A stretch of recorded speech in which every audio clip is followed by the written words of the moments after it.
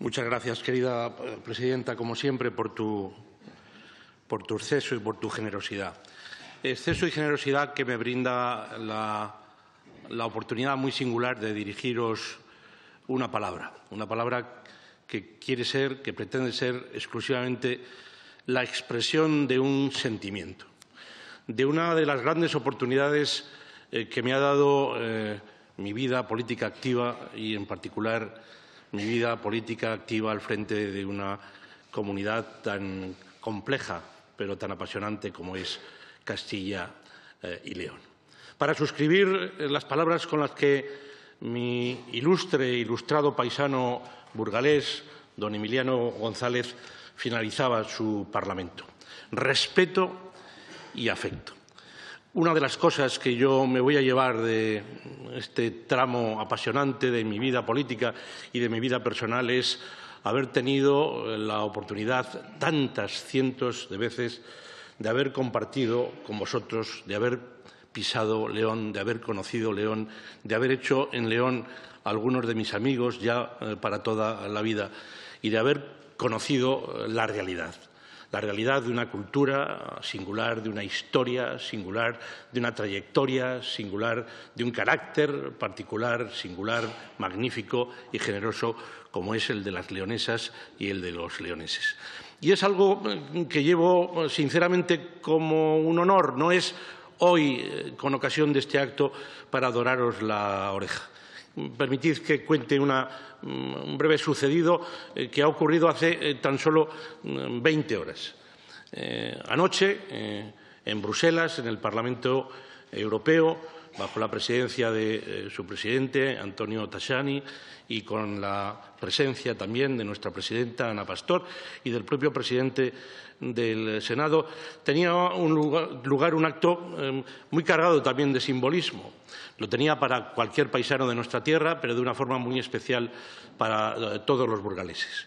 Burgos se presentaba, quería presentarse en el Parlamento Europeo, en el umbral ya de la conmemoración del octavo centenario de la primera piedra de su catedral eh, gótica, que tanto nos eh, asemeja a la pulcra leonina que lleváis vosotros en el corazón, con lo que son sus rasgos eh, históricos y culturales fundamentales.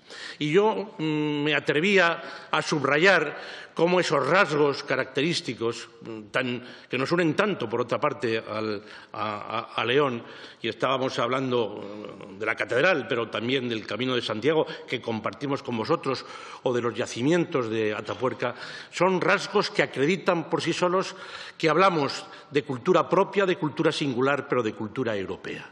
Europa está en nosotros desde que antes existiera este proyecto todavía incipiente, todavía con más sombras que luces de la Europa institucional, de la Europa política, de la Europa económica y hay de la Europa social. Y yo decía, pero esta visión no sería tampoco completa, son palabras expresas mías ayer, sin saber que hoy tendría la oportunidad de dirigiros estas, eh, no estaría completa si yo, como presidente de Castilla y León, no subrayara aquí en el Parlamento Europeo no recordar aquí la figura egregia que yo he conocido. Soy un modesto caminante, todos los años peregrino, y quiero deciros que a mí me emociona llegar a la Catedral de Santiago de Compostela por dos motivos. En primer lugar, por darle el cabezazo al santo patrono de las Españas y, en segundo lugar, por darle el cabezazo a Alfonso IX de León, ese gran rey de la historia de España y de la historia de León, que está enterrado en la Catedral de Santiago de Compostela. Y yo recordaba dos de las grandes fazañas del rey Alfonso IX de León. En 1188, la convocatoria eh, en San Isidoro de las primeras cortes con presencia del, pueblo, del estamento popular y, por lo tanto, la auténtica cuna del parlamentarismo occidental, es lo que hoy estamos conmemorando. Y también lo que hemos conmemorado hasta hace tan pocas fechas, la creación, 30 años después, en el año 1218, de lo que es también una de las bases de la cultura occidental, el sistema universitario, el sistema de ciencia, el sistema de cultura, la gran Universidad de Salamanca. Creo que son razones suficientes para amar profundamente y para respetar. Y, por tanto, yo con esto oh, finalizo. Amo profundamente a León.